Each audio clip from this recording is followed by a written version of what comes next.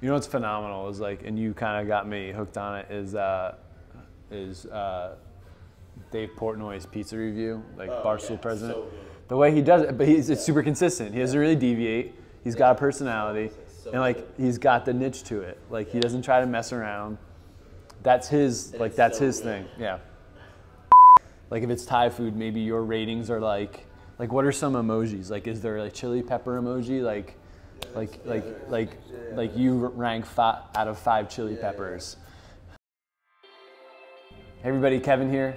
I can't believe this streak that we're on. There's some of you that have watched all of these, some of you that have watched zero of these, and others that have watched one or two episodes because they pertain to you.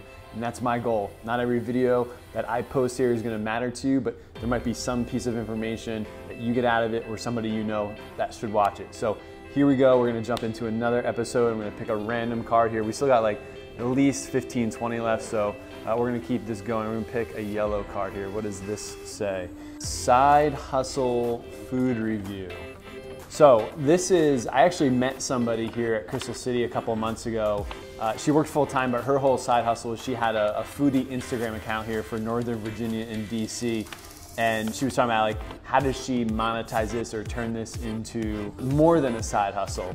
And the, the fascinating thing is literally we were out to this dinner club and she kept literally taking a picture of every single food.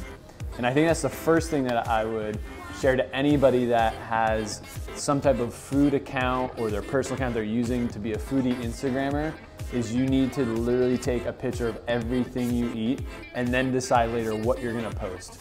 Um, but in this context, for this episode, if you uh, have a side hustle in the food world and you are doing reviews, I think a couple things that you could do aside from the obvious of what I mentioned doing Instagram, uh, because obviously there's a huge culture there, is I would actually start to cold email different restaurants uh, and maybe food trucks that are popping up, especially if you read them uh, on, on any press outlets or, or news publications.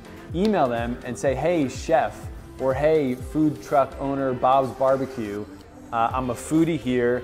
Uh, I would love to actually sit down and interview you. And so then maybe you bring your phone or a camera and do a Facebook Live or Instagram Live, or maybe you do behind the scenes video uh, of you testing out all their new food, but at the same time you interview them. How'd you get started? What made you start this restaurant or food truck? Uh, what type of audience are you catering towards? Uh, you know, what's your signature dishes? What makes you different than everybody else here in the city?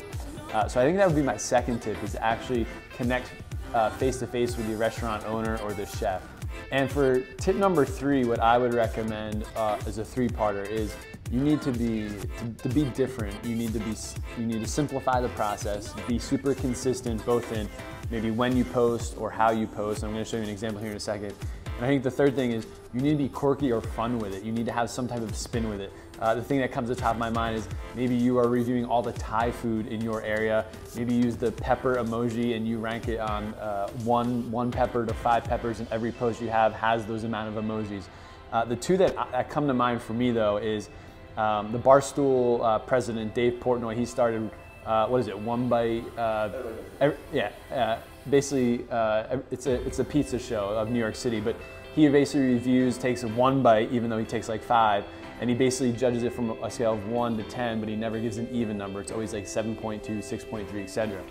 Uh, speaking of pizza, though, my other good friend Keith, he actually started Dollar Pizza Slice NYC, and the one thing you'll see here with all of his pictures is it's all a top-down shot with a white plate and the slice. And what he would do is he would rank everything from cheese, sauce, crust, and overall experience. And he, was, he got so specific that it was just dollar pizza, pizza slices in New York City. Uh, so I think that's what you need to do is figure out what is your niche, who you're gonna, uh, what are you gonna review to kind of stand out and get a followership. And I think coming from this, as I started, people might be thinking, well, how do I make money or a living off of this?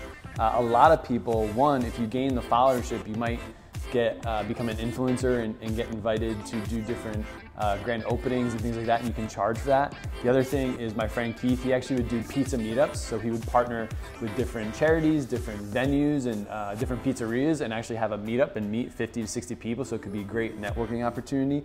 Uh, and I think the third thing, maybe you uh, write a book or something like that, or uh, you get on Condé Nast travel blog or something like that. So I think it's, it's about exposure and redoing it over and over again. But I think this last tip is, is simplify, consistency, and being quirky or fun and having your own spin on it.